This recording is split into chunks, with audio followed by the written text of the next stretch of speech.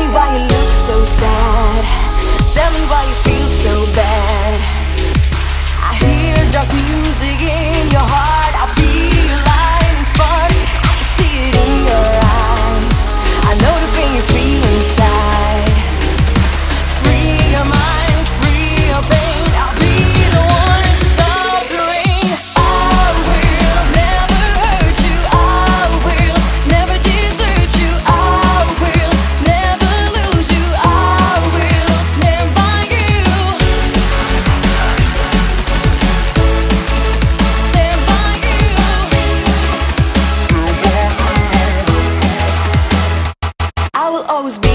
friend.